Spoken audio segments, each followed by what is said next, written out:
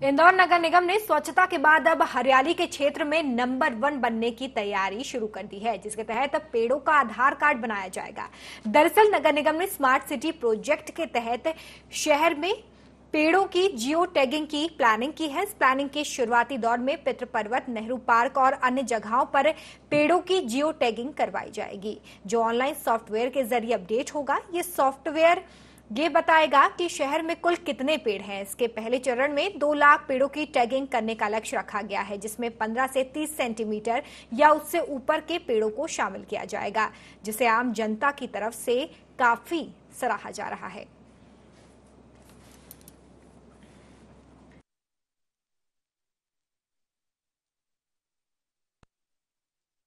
आज के 2004-5 में उधर पिथ पर्वत पे अपने अपने बुज़ुर्गों की याद में पेड़ लगाए गए थे, जो आज उनकी वो ग्रोथ आप जाकर के वहाँ चेक कर सकते हैं। सारी मिलती है और सिस्टम पे वो बराबर मिलते हैं।